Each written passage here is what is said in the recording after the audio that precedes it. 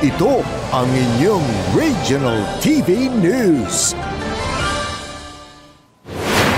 Isang senior citizen ang natagpuang patay sa isang ilog sa Valencia, Negros Oriental.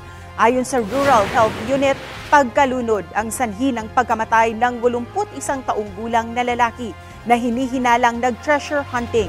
Posible raw na nahulog sa bangin ng biktima at inanod ng ilog. Sa ibabaw ng bangin kasi nakita ang kanyang mga gamit. Ninatay ang isang linggo ng patay ang biktima bago natagpuan. Walang nakikitang foul play ang pulisya. Kapuso, para sa mga maiinit na balita, mag-subscribe sa GMA Integrated News sa YouTube. Sa mga kapuso naman abroad, subaybayan nyo kami sa GMA Pinoy TV at sa www.gmanews.tv.